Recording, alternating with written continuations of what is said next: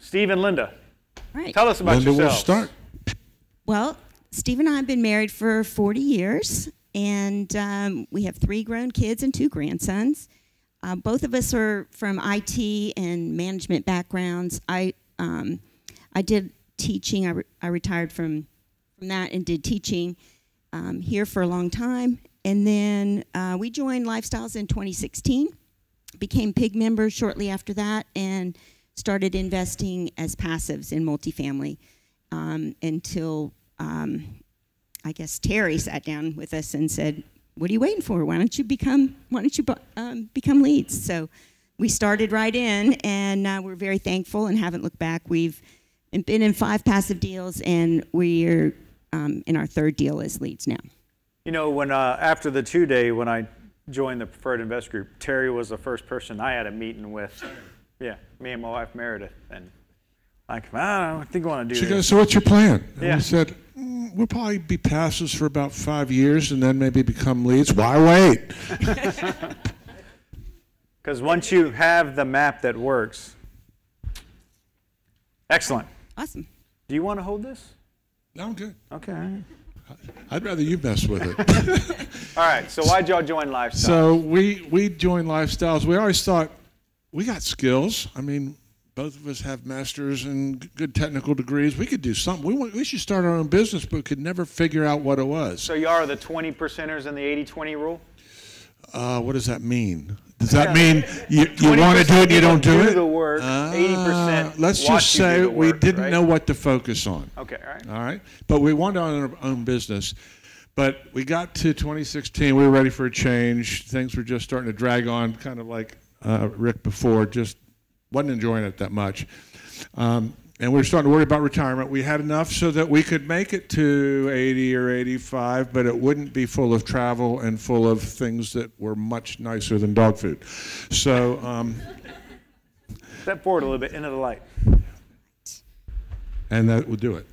Okay, so anyway, we did we did two things. One, she heard Del on the radio, but she also heard every so often she'd drop something on my desk. I work from home, and she said, "Hey, I heard this on the radio. Give it a call. Lifestyles Unlimited." Real estate. Okay. And uh, here's the phone number. So I called it. That Wednesday, we went and heard Steve, can't remember his name, on Yeah, Wednesday night. Steve. Yep. And then, so that was Oh, just, radio guy. It was a, it was a, it's the two-hour introduction kind of thing, right? And then you do. I'm a software guy. Stepwise refinement. We took the next step. We came to case study. Mm-hmm. Went, ah, okay, I get it. Okay. So you're learning a little bit more. And then we said, got to do the two-day. So we let's do the two-day. Another step. Are you saying the case study reinforced your belief cycle to get you to a two-day, which reinforced your belief cycle to, to make a real estate investment? So Okay, all right, I think right. that's what we're saying. Hey, there's a plan, y'all. Just saying. That was in my script. He just took it. No, I'm oh. kidding. I'm kidding. so, so we showed up there, and there was the rest is kind of history. Now we had a roadmap. Now what are we going to do with it? Excellent. You can flip that. Excellent. All right. So the property that we found. It's interesting how we found it. This is your second, third? Third. Third deal. deal. Okay. We closed last July. Okay. So we heard about it from a lifestyles realtor. We heard about it one day before offers were due. Oh, wow. Yeah. That was fun. So we heard about it at 10 in the morning. About 2 in the afternoon, we went for a tour of the property. Um, the one we currently had at that time was a 1963 property. This was a 1983 property. We thought that's a that's a check That's in newer. favor. And we were, younger. Everybody likes younger properties. Right? and we were actually we are actually making offer on another 60s property at the same time. We thought, hmm. So anyway, we the next day we put in an offer. We made it to best and final. At best and final, we were the final two because best and final sometimes isn't final. you see, you go back, sharpen your pencil. Uh, Yeah. They try to make you fear a little bit, little fud. I'll talk uh, this weekend. I'll, I'll go through offers, negotiation, the process with brokers. Also, we'll cover it in all the gambit. Right. So anyway, the purchase price, we actually offered. Well, that- forget it. That's too much detail. But anyway, we ended up buying it for fourteen eight. Excellent. And out of pocket, we ended up raising $6.8 million, which was an experience in itself because that was more than twice as much as we had ever raised before. And it was in an interesting time where the market was starting to go fun. It- Yeah. Yeah. So the market wasn't perfect. Not Luckily, Quite. you, you had 6.8 million in your savings account and you were able to buy this property. No. or not. Okay, all right. So how'd you, uh, how'd you get the money for the deal? Well, luckily, we're part of Lifestyles, Uh-huh. and um, we have been meeting people for several years and building up a list of potential investors. Maybe at networking events that Networking happened after the case study? Things like right? this, after the case study. The and Ginger expo. Man? Ginger Man, yep. Guilty as Um, charged. Yeah. So we, we let um, the people that we had had communication with, we let them know that we had an opportunity, and they responded, and we were able to put together enough money to buy it. How many partners are in the deal? It's us plus 88. Okay. What is your smallest investor? 25. What's your largest investor? Us. But Okay. besides that, 135. Okay. So, uh, who wants to manage an LLC and a property with 88 partners, right? who wants to give them 50, 100 grand to do it for you and just send you a check, right? Guys, if you're not raising your hand, there's really no reason you should be here. You should go home. I mean, the purpose of Lifestyles is to own and operate single family and multifamily properties. Copy? If you don't want to do that, then hey, man, it was nice meeting you. All right? That's it. If you don't want to be an owner, you don't have to be here. Copy. All right? Copy that. Thank you, Master Chief. Sorry about that. All right, no problem. So we have a rehab budget of 1.5. Linda will talk about that in a minute, but I did want to talk about the financing. Mm-hmm. The financing, the only thing that was really available was a bridge loan. Now there's two kinds. He'll talk about them, variable and fixed. We want it fixed. Why? Because if you get variable, the lender's going to make you buy insurance for your interest rate. And that could get expensive. In fact, there was a guy who bought a property um, in November, the year before we bought, so in tw- November 2021, he had to pay $100,000 for his insurance on the interest rate. So you, bu- you get an interest rate of 2 or 3%. This is a little outside the scope of a case study. Yeah. Yep. I could talk about in the two day. It's even outside the scope of a two day. But um, he got a 3% interest rate, maybe, or two and a half. And the insurance says, well, rates, or the lender may say, well, rates are going up. You need to buy a cap ahead of time, maybe a 2% spread or something. That's a 100 grand. Yep. So anyway, last May, this past May, The price of the cap if went he, up. no, I take that back. The, the May before we bought it, it went to seven hundred thousand dollars. And if you if the economy is crazy at the end of three years and you need to extend, you don't know what it's going to be. I did not want to lose the property. We got a fixed rate bridge Copy. and non-recourse.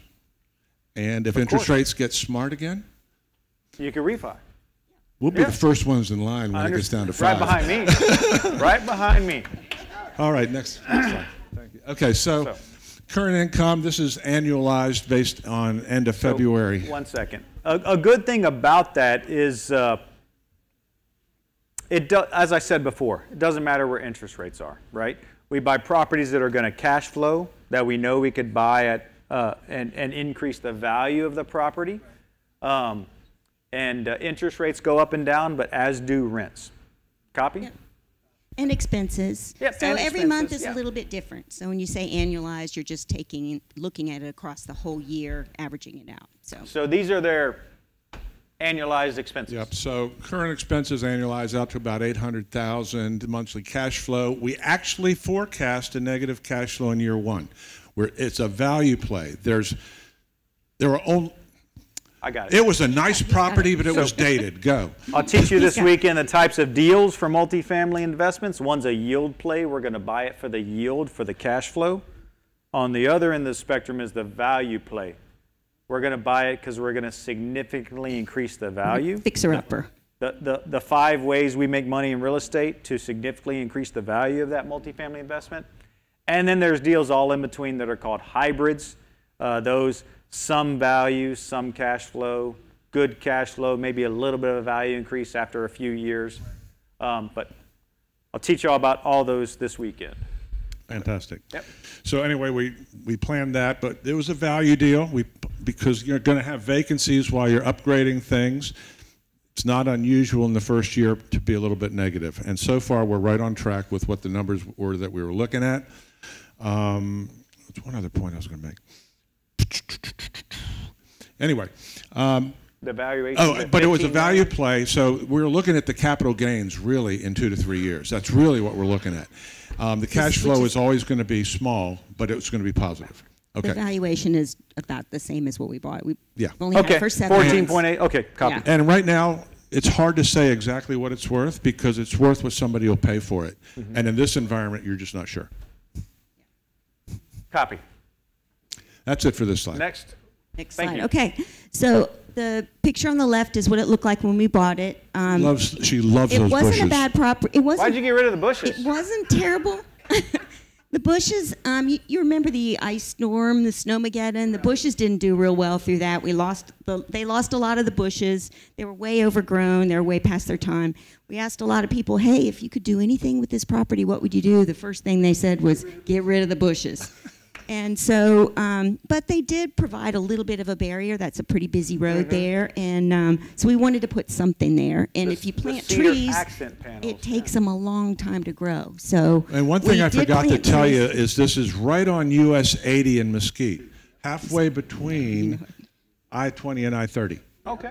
And, it's, and it's also right next to the intersection of um, I-30 and also 635. A- a so big road. cl- it's convenient to So- transportation. Yeah, and one of one of the things we wanted to do was to to change it, to upgrade the look, upgrade the curb appeal, make it look more contemporary, and let people see it. So Mm-hmm. Give that's some why pop. we painted the dramatic colors, and um, um, we added the the cedar panels there in the front, sort of for a, a little bit of a sound barrier, but visual barrier as well. Um, for the Now, for we the had to plant these in February. Yeah, But we've- see right here, There's in still- between these gaps are actually very beautiful crepe myrtles that are waiting for spring. Yeah, they're going to be blooming any minute now. I know. Excellent. anyway. Thank you. Go ahead, Wayne. Okay, so even even the interiors um, th- weren't. I mean, some of them are rougher than others. That's always true, um, but the they were tired and dated, and um, I don't know if you can see. We we basically when we when we classified this as a value play, we we planned to do really nice high quality upgrades on it so that we could get a higher rent bump and so far that that's playing out very well um, we there was a big like i don't know what you call it Yes. You know the 1980s where they dropped down This- the ceiling for this- no reason this- above the bar. This was extended. yeah Yeah. yeah and there's not yeah and that and the double the double layer bar you can see right here the double layer bar so Oh. we we took Hey, that y'all, out I did the same thing on one of my properties recently. Still it's doing am- it. It's Yeah. amazing the difference it makes. It just really opens up the room and looks beautiful, um, and so it changes the whole look of it. Um, and we put in some nice backsplash and um, nice nice tiles and granite countertops. So, one bedroom, two bedroom, does it matter? That we have. Uh, no, it doesn't matter. What was previous rents versus what you are getting today for the same unit? for the same, yeah, um, and that varies a little bit too because some of them are better condition than others, you know. But we were getting, or they were getting, nine hundred to a thousand, and we're getting now thirteen, fourteen hundred, So fifteen sometimes. three to five hundred dollars increase in rent. Yeah. Copy. Um, and there's uh, two bedroom unit, two bedroom, two bath, and one bedroom, one bath units. Okay. Excellent. So these are some Oh, nice. pictures before. The, so the bathroom before isn't horrible. They were the drop-ins. They're the plastic, you know. Um, so when we wanted to replace that, we had to replace the tub Wow, as y'all well. replaced tubs. we had to replace, yeah, That's that's a big deal. yeah, and uh, and the toilets for um, energy conservation. And we had the granite. It wasn't that much more to just extend it into the bathroom from the kitchen. So Excellent. Okay. Okay, we got some numbers. So let me just, I'm not going to go through and talk about every, every number, but I do want to say this. Why did we like the property from a value play perspective? They, their market, their market rent was $1.53 a foot. But they were only getting actuals at $1.27. That's 20 cents, over 20 cents a, um, a square foot, Square foot. just to get to market. And they were getting between 150 and 200 more for a premium upgrade. They had only upgraded out of 98 units. They upgraded two, one be- one bedroom and one two bedroom. But they'd proven they could get it. They had to prove the market, so you'd pay more for it. Yep, they did it. Yep. But but if they hadn't done it, I'm not sure I would have had the confidence that no. we can get what they had. And the bank wouldn't have either, right? Yep, yep, yep. So, absolutely true. Absolutely true. So, we ended up getting after it, and the bottom line here is we told you about cash flow not being very pretty in the first year. It gets A little better. we're better, Yeah, but we significantly But better. we we told we told our potential investors it's going to be a slight loss in the first year. It's going to be modest cash on cash in years two and three. But let's look at the capital gains on the next slide. Real quick. So this weekend, uh, I'll teach you what these numbers mean also. We're going to go through income, not just income, we're going to go through gross potential rent, loss to lease, vacancy, bad debt, non revenue units. I'll teach you about those five things in that one word right there. Copy? And I'll teach you about the 28 ways we increase income in multifamily. I'll teach you about the operating expenses and teach you about the valuation of single family and multifamily properties. Yep. So, So there were 96. There's 96, 98 units, and then we had 96. Two of them had been up because two of them had been done. Copy. So we're planning to do half, half of them to a premium, and the other half just touch them with three thousand dollar dress up to get to market or to justify getting to market. But the truth is, we're getting to market without even doing some of those. So um. But that we're, also we're seeing the the That strategy, though, and I'm thinking one of the reasons they're doing this is uh, it may take two, three weeks to upgrade a unit where you can paint it and uh, resurface the countertops and release it in a week, right? So that affects your vacancy rate, your turnover rate, and your and really affects your income. Right. So So we want to try to keep the occupancy up Yes. while we're doing renovations. So if we get too many vacant, then we'll adjust and do a couple of classic ones, quick turns, and then we'll try to keep it going. yep. copy. Yep. So in the first year, you see that we didn't even try to necessarily value it, partly because of the negative cash flow. But the other part is if you if you actually sell it in year one, you lose a tax advantage. It's normal income and not capital gains. So we just forget that. So at the end of the second year, now all of a sudden we're at about 50% increase in value. So in year had. two, you're estimating a 50% equity return. Yep. And to, and cash. Yeah, closing costs and stuff to deal with. But yes. But that's an unrealized capital gain, though, because they're not going to sell in year two, unless a great offer comes around. Absolutely. Right? Yep. And then in year three, see, we're getting these big rent bumps, right? But it phases in. You got to wait for a lease to terminate. Then you've got to upgrade the thing, and then you've got to release it, and Yeah. that staggers in for a year. So now we get where we're fully uh, upgraded, and we get to year three, and now all of a sudden, when you start looking at keeping your expenses under control, hitting a nice NOI somewhere along here, um, we're about ninety percent year three. And that's the beauty of, uh, so single family, it's like a race car, right? Uh, they rehab those single families in three, four weeks, and they're done, and they're getting $300 bumps in rent. 100 units is like a ship, right? You turn the rudder, it's going to take you, you know, a while because you got to rehab, and you can't just kick people out. You have to honor the leases they've signed for 12 months, uh, but you just rehab as they turn. Excellent, but uh, let's go back. We, we missed the big number. Okay, so they raised 6.8 million uh, with 90 partners or so. Um, now, do we have any other partners in the room? Please raise your hand. Excellent. Wow. Now keep your hands up. Keep your hands up. Right? Obviously, y'all said, "Hey, Steve, Linda, we'd love you. Go do it for us." Maybe y'all have invested with them before. So, how many of you would like to be in a deal like this? Raise your hand. All right. All right, hopefully by the end of the year. We never advertise deals from the stage. One yet. Next slide.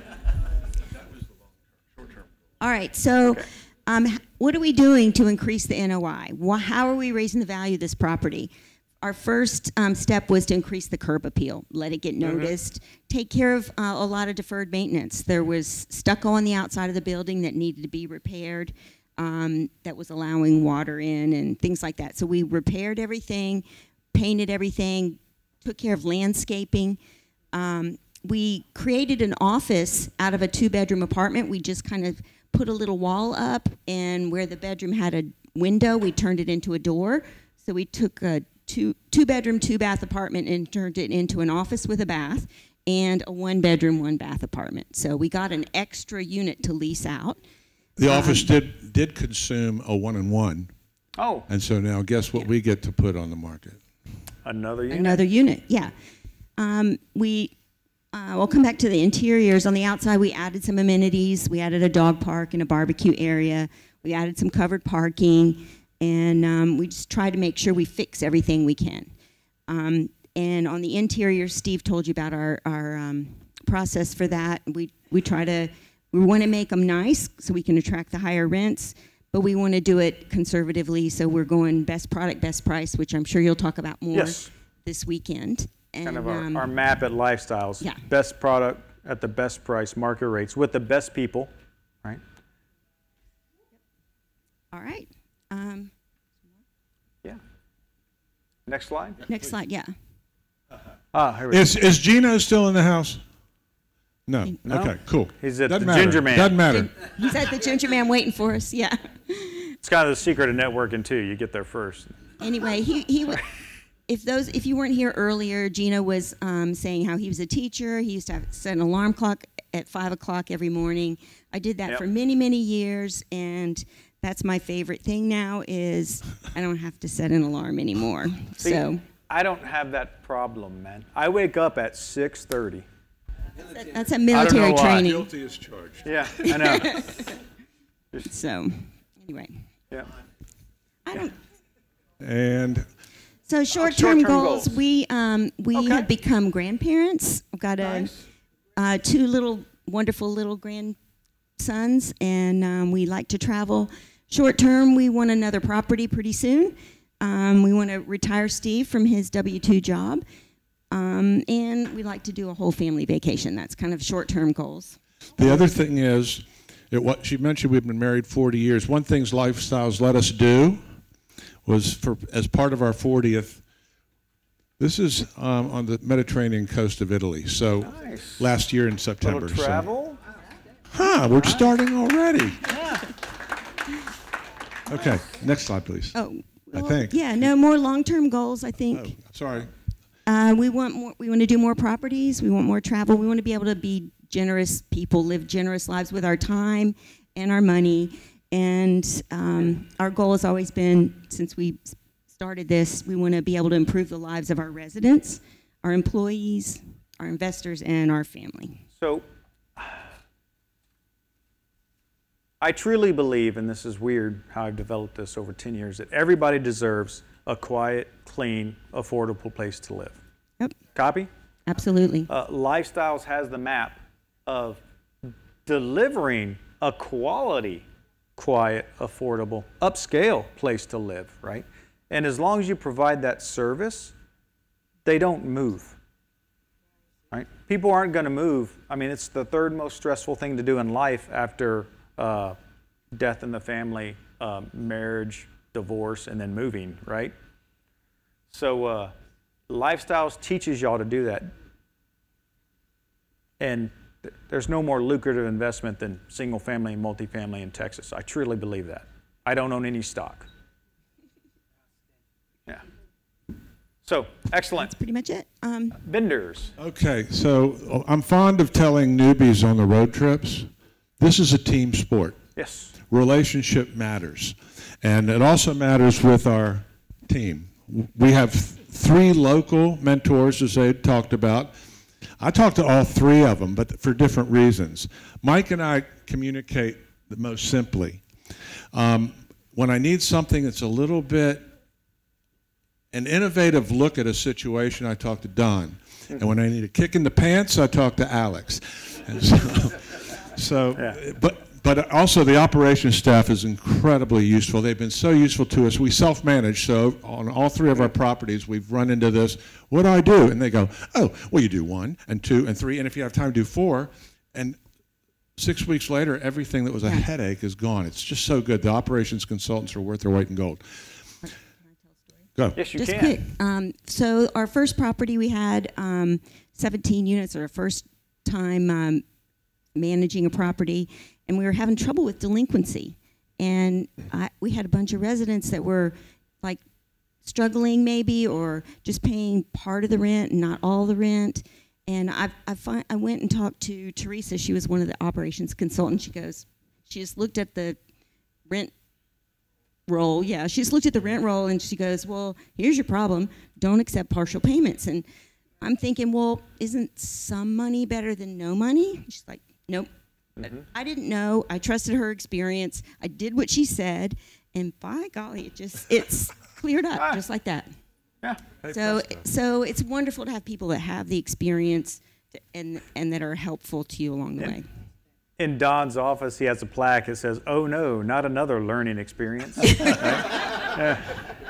But, but, as a group, mm-hmm. we learn from each other. Not just the mentors. I've called on other leads, and they've given me such a fantastic advice, or where to go, or oh, I've had that. Here's what you need to do.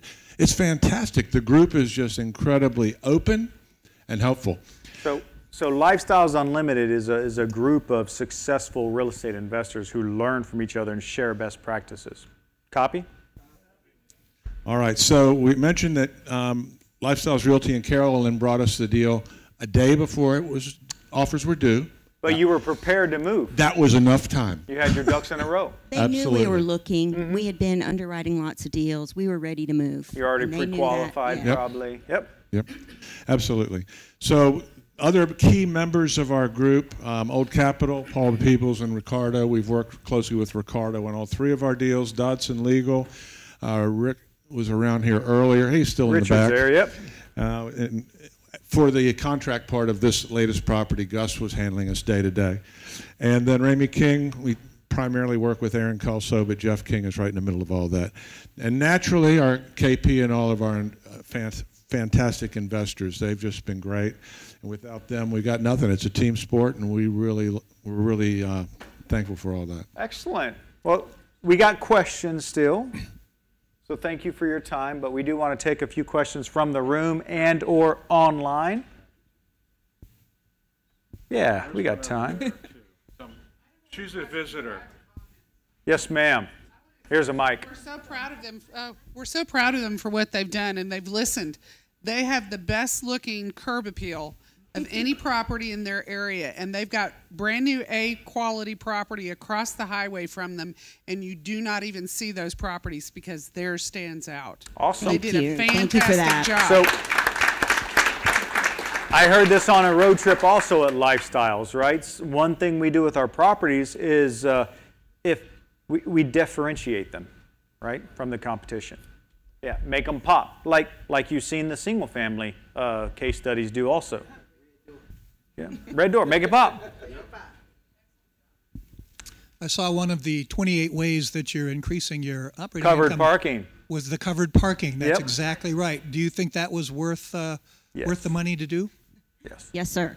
We looked at um, all the apartments have um, washer dryer hookups. So part of our originally we are thinking, well, maybe we'll invest in some washer dryers and we'll rent those and get a little bit of extra income that way.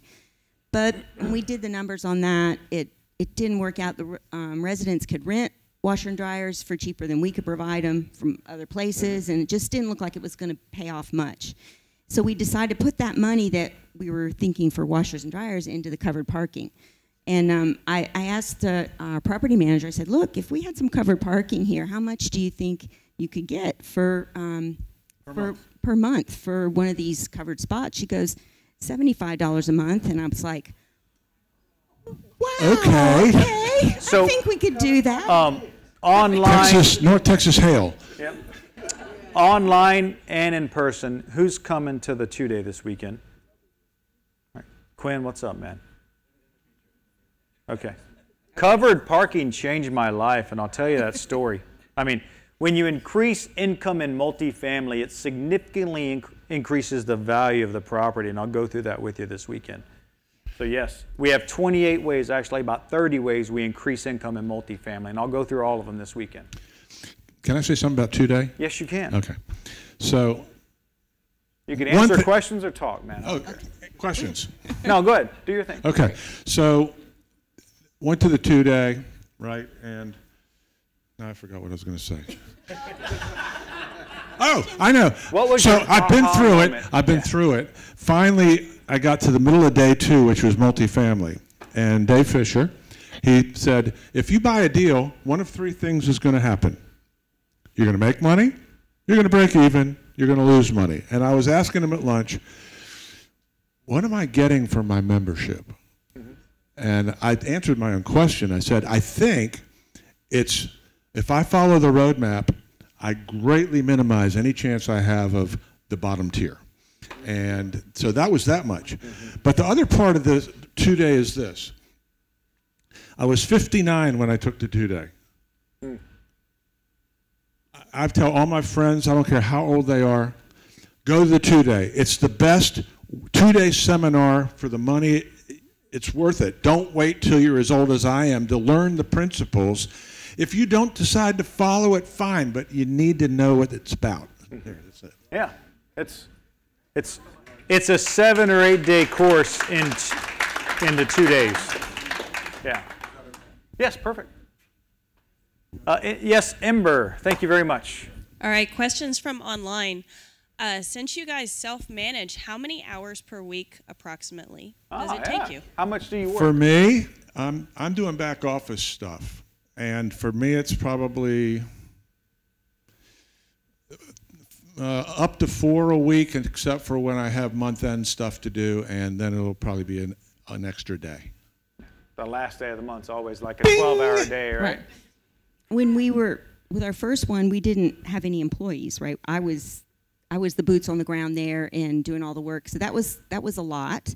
Um, we, I tried to be present on the property. I was managing everything, so that was a lot. With the property number two and three, we're able to hire employees.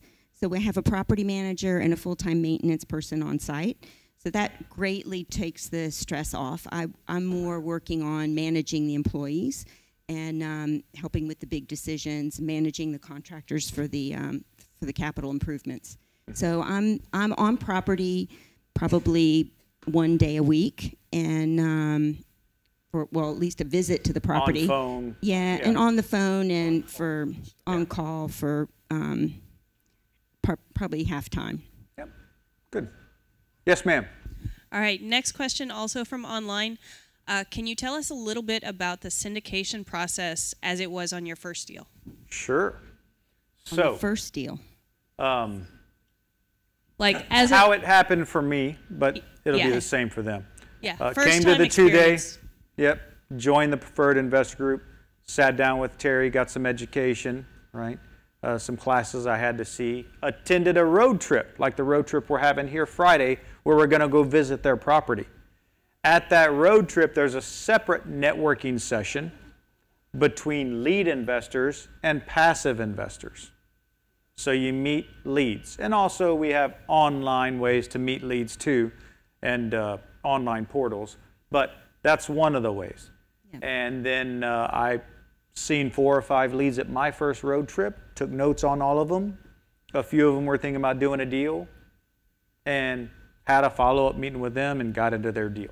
How'd it happen for y'all? I got my lead certification in October 2015, and my first road trip was November up at one of Don's properties that Kevin now In owns. Denton. Yep.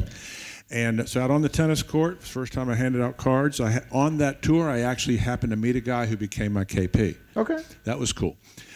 So, we'll talk about KPs or key principles in the two day also.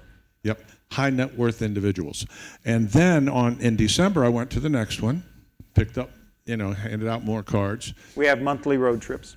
and then early early January there's one more.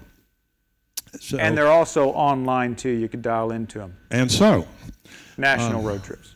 somehow things accelerated. I was had only just become a lead. I talked to um, Cap, uh, Capital One, Spun. eh, Capital One, sheesh, Old Capital, and and they guys said the they said they looked at me and they said, okay. They looked at my KP, said, great, anything you want. No, that's not quite true, but close.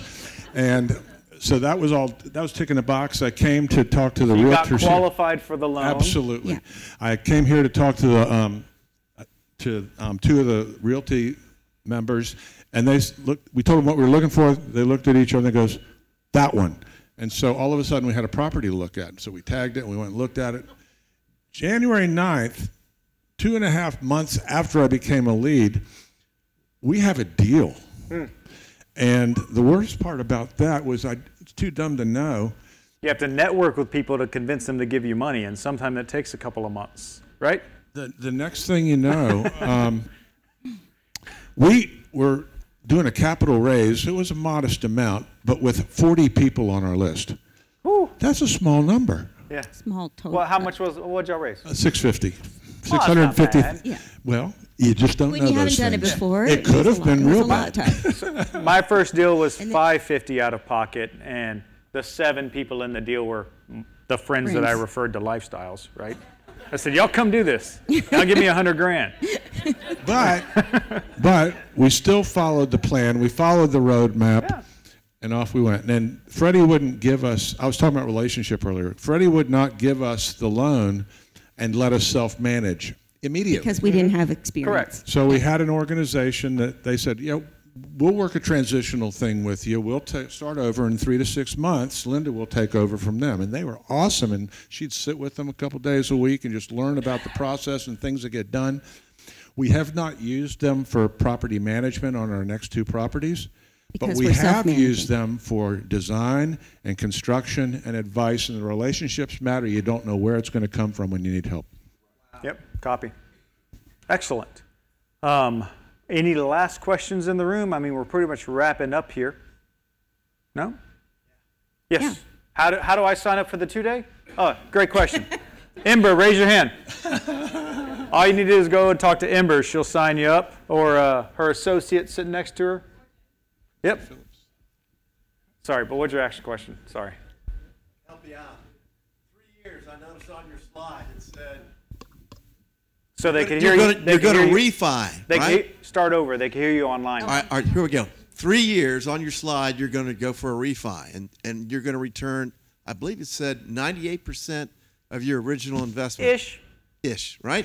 What are, what was in your MFQA for the three-year refi, and what are you going to end up with in year five? You're, you're stating it a little bit more directly than we stated it. So, Bill's asking a question about the MFQA, which is the pro forma they showed people before people gave them money.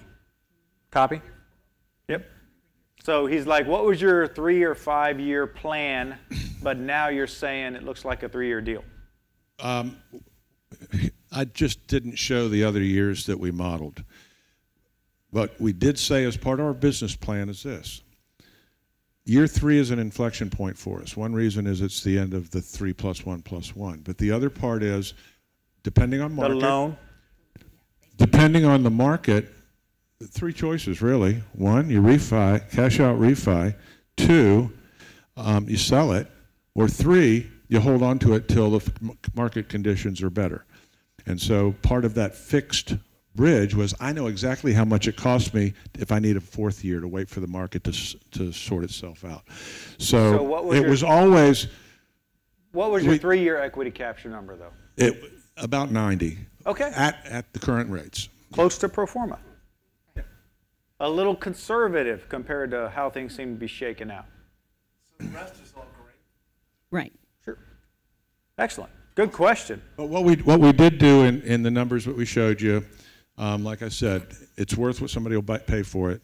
We put in the numbers that we modeled in the MFQA. We haven't tried to adjust it and guess what it really looks like now. Because y'all just bought it. Seven months ago. Excellent. Any other questions? Well, Steve, Linda, Mike, thank you very much for uh, You were awesome.